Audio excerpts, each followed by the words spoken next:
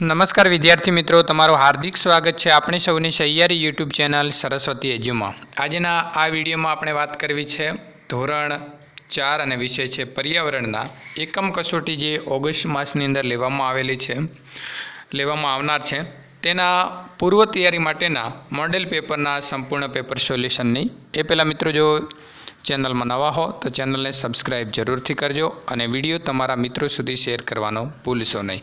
ચેનલને સબસ્ક્રાઇબ કેવી રીતે કરવાની છે? એની વાત હવે આપણે કરીએ. ત્યારબાદ આગળ વીડિયો જોઈશું. તો વિદ્યાર્થી મિત્રો, અહીં સરસ્વતી એજ્યુ લખેલું છે અને નીચે સબસ્ક્રાઇબનું બટન છે. તમારે આ સબસ્ક્રાઇબના બટનને એક વખત ટચ કરવાનો છે અને ત્યારબાદ અહીં બાજુમાં જે બેલ આઇકોન આવે છે, એને દબાવી અને ઓલ નોટિફિકેશન કરવાનું રહેશે. જેથી કરીને તમને અમારા જ્યારે પણ વીડિયો અપલોડ કરવામાં આવે ત્યારે સૌપ્રથમ મળી રહે.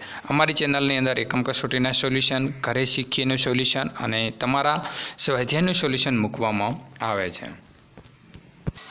તો આ મોડેલ પેપરની આન્સર કી છે? આસપાસ એટલે કે પર્યાવરણ અને તેનો સમયગાળો છે એક કલાકનો અને કુલ ગુણ રહેશે પચીસ. હવે આપણે જોઈશું પ્રશ્ન નંબર એક. યોગ્ય શબ્દ વડે નીચેની ખાલી જગ્યાઓ પૂર્ણ કરો. પાંચ ગુણ છે. મિત્રો, તમારી એકમ કસોટીની નોટબુકમાં આ પેપર લખવાનું નથી. જે તમારી શાળામાંથી આપવામાં આવેલું પેપર હોય છે, એ પેપર જ એકમ કસોટીમાં લખવાનું રહેશે. આ માત્ર તમારી પૂર્વ તૈયારી માટે પેપર બનાવેલું છે. પહેલા નંબરનો પ્રશ્ન છે, લીચી ખાલી જગ્યા રંગનું ફળ છે, તો લાલ આવશે. ત્યારબાદ કીડીઓના ટોળામાં એક ખાલી જગ્યા કીડી હોય છે, તો એ કીડી રાણી હોય છે. ત્રીજા નંબરનો પ્રશ્ન છે કે કચ્છનું પ્રવેશ દ્વાર ખાલી જગ્યા પુલ છે, તો સૂરજબારી પુલ. આપણા શરીરને પોષણ ખાલી જગ્યામાંથી મળે છે, તો મિત્રો ખોરાક. પાંચ નંબરની ખાલી જગ્યા છે, તરણેતરનો મેળો ખાલી જગ્યા જિલ્લામાં ભરાય છે, તો સુરેન્દ્રનગર.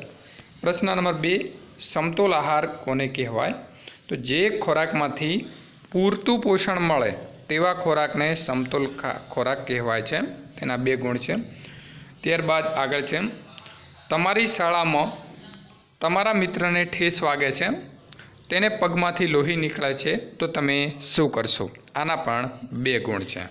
તો સૌ પ્રથમ જ્યાંથી લોહી વહે છે, ત્યાં પાટો બાંધીશ. પછી શાળામાં જે સારવાર પેટી હોય છે તેમાંથી દવાનો ઉપયોગ કરીને પાંટો બાંધીશ. તો આવી રીતે આપણે મિત્રને મદદ કરીશું.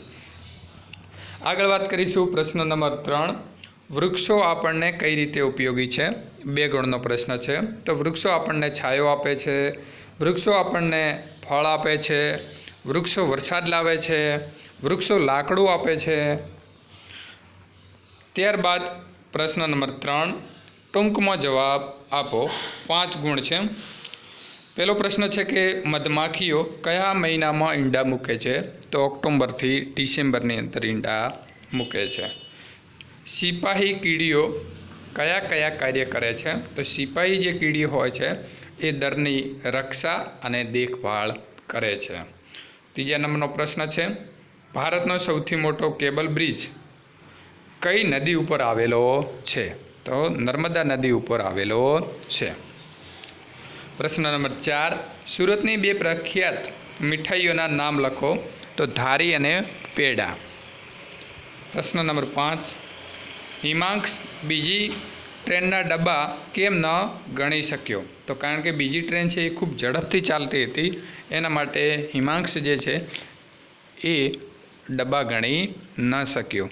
ત્યારબાદ આગળ વાત કરીશું પ્રશ્ન નંબર ચાર વૃક્ષ, વેલા અને છોડના ત્રણ ત્રણ ઉદાહરણ આપો. કુલ ગુણ કેટલા છે? પાંચ. તો આપણે અહીં વૃક્ષ, વેલા અને છોડના ઉદાહરણો લખ્યા છે.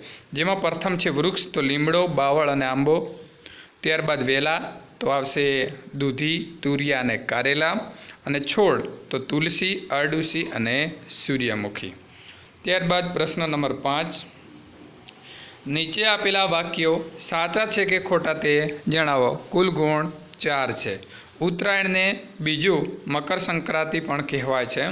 તો એ સાચું છે.